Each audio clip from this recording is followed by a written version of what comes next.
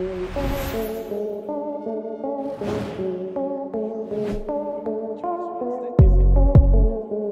क्या आपने कभी दुनिया की सबसे छोटी चिड़िया को देखा है, जिसका साइज़ मधुमक्खी जितना बड़ा होता है?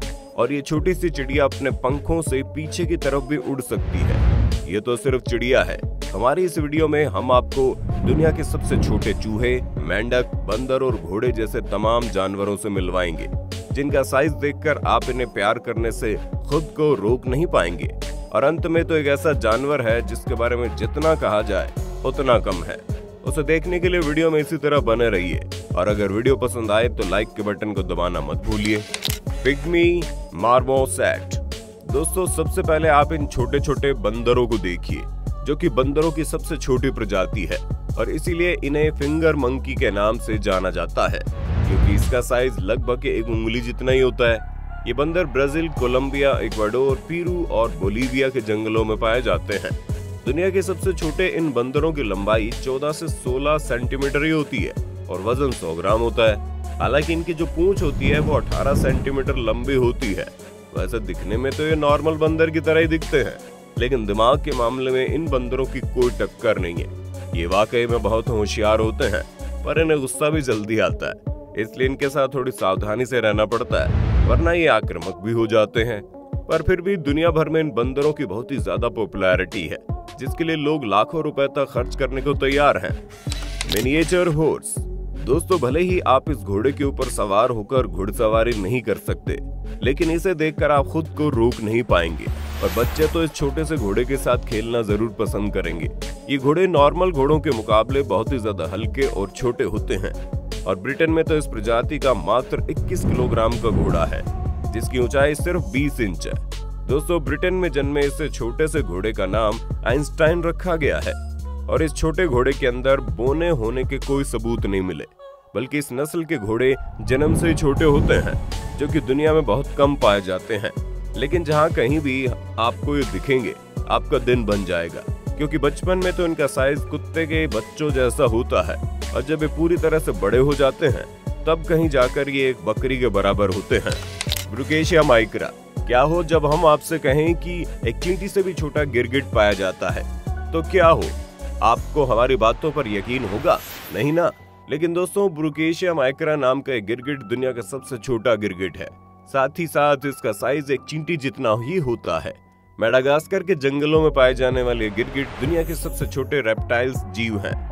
दोस्तों, ये गिरगिट इतना छोटा होता है कि अगर आप इसे अपनी उंगली पर भी रखते हैं तो उंगली के ऊपर रखने के बावजूद इसका साइज़ बहुत ही छोटा होता है। इसकी लंबाई मुश्किल से एक इंच होती है और इनका वज़न 0.20 ग्राम होता है। ये गिरगिट अधिकतर ज़मीन पर मौजूद सूखे पत्तों के बीच में ही रहकर अपनी ज़िंदगी बताते हैं। वैसे दोस्तों, जब हम गिरगिट के बारे में बात कर ही रहे हैं तो क्या आपको मालूम है गिरगिट किस चीज़ के लिए फ़ेमस है? रंग बदलने के लिए या फिर उछल कूद करने के लिए? सवाल काफ़ी इंटरेस्टिंग है, इसलिए कमेंट बॉक्स में जवाब देना मत भूलना।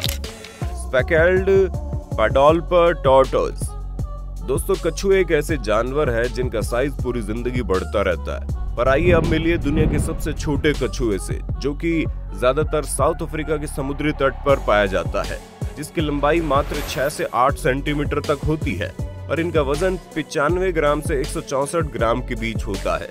इन छोटे से दिखने वाले चूहों को नजरअंदाज करने की गलती मत करना, क्योंकि इनका जो शैल होता है, वो बहुत ही मज़बूत होता है।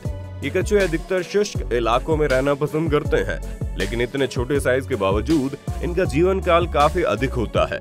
इनके छोटे आकार की वजह से शिकारी चिड़िया इनका शिकार करने के लिए झपट्टा मारती है, लेकिन ये दिमागदार कछुए पथरीले इलाकों में छुपकर अपने आप को बचा लेते हैं।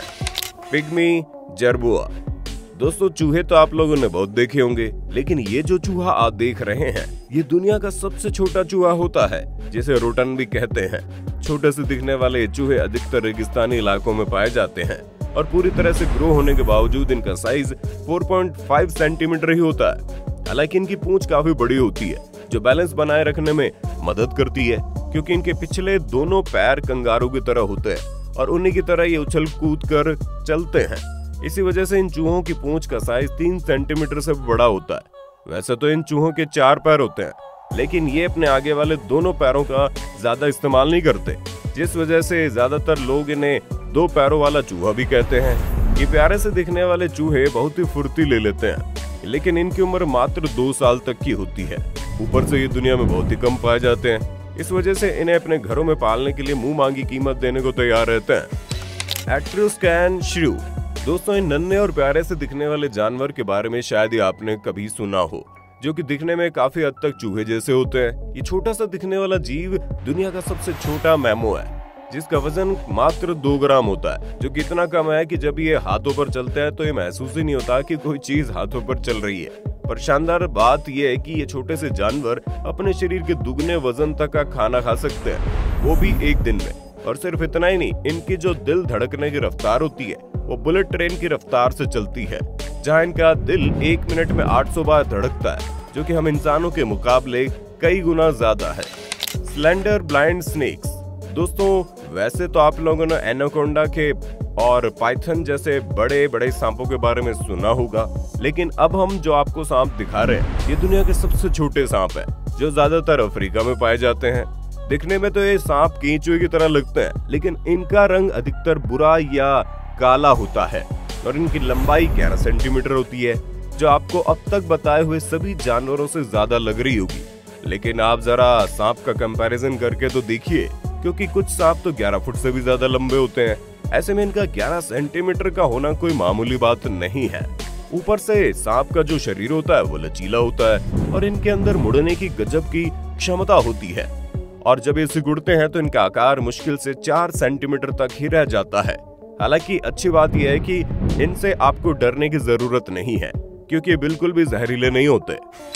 मैडामे ब्रेथ माउस लेमोर दोस्तों, पश्चिमी मेडागास्कर के एक नेशनल पार्क में पाया जाने वाला लिमोर चूहा दुनिया का सबसे छोटा सस्टेन प्राणी है, जिसका आकार लुक्स बहुत ही प्यारे होते हैं। पूरी तरह से बढ़ने के बावजूद इनकी लंबाई मात्र बानवे मिलीमीटर होती है। वज़न की बात करें तो 30 ग्राम के होते हैं। आपको बता दें, इन प्यारे से छोटे चूहों की दुनिया में कई सारी प्रजातियाँ होती है। लेकिन इसके बावजूद इनकी तादाद बहुत कम है। ये चूहे दिखने में तो प्यारे होते ही हैं, उनके साथ ही इनके अंदर फुर्ती भी कूट कूट कर भरी होती है। बहुत कम वज़न होने के कारण ये आसानी से इधर उधर उछल कूद कर सकते हैं। और इनकी रफ्तार भी बहुत तेज होती है। मासूम से शक्ल वाले इन चूहों को पालने के लिए लोग बड़ी से बड़ी कीमत देने को तैयार हैं। इनकी संख्या कम होने के कारण लोगों की डिमांड और ज़्यादा बढ़ जाती है। फाइडो फायरेने एम्यूनेसिस। अब आप देख रहे हैं दुनिया के सबसे छोटे मेंढक को, जो किसी प्लास्टिक के खिलौने से भी ज़्यादा छोटे होते हैं। इनकी लंबाई 7.7 मिलीमीटर होती है। ये मेंढक अधिकतर जंगलों में पाए जाते हैं, जो उछलने में भी माहिर है। 2012 तक तो इन मेंढकों का कोई नामो निशान नहीं था। लेकिन इसके बाद जब इनकी खोज हुई तो 22 मई 2013 को इन्हें international institute of species exploration में विश्व के सबसे छोटे मेंढक का खिताब मिला। ये आमतौर पर जंगलों में पत्तों के बीच रहते हैं, ताकि खुद को छुपा सके, वरना इन्हें बड़े जीव अपना शिकार बनाने में कसर नहीं छोड़ेंगे। बी हमिंग बर्ड आसमान में उड़ने वाली चिड़ियों की एक से बढ़कर एक प्रजातियाँ मौजूद है। लेकिन शायद ही आप लोगों ने आज से पहले इस बी हमिंग बर्ड के बारे में सुना हो, जो कि दुनिया की सबसे छोटी चिड़िया होती है। ये कुबा के घने जंगलों में पाई जाती है।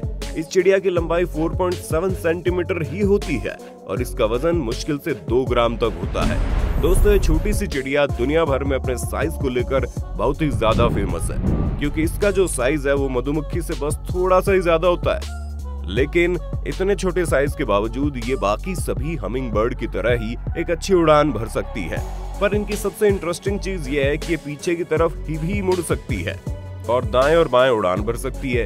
ये चिड़िया एक दिन में 1500 से ज़्यादा फूलों के ऊपर घूमती है और इनका घोंसला भी इन्हीं की तरह बिल्कुल छोटा सा होता है। तो दोस्तों, ये थे दुनिया के सबसे छोटे जानवर। अब आप इन पर क्या कहना चाहोगे, कमेंट में बताना। इसी तरह की वीडियोस को देखते रहने के लिए चैनल को सब्सक्राइब करना ना भूलें।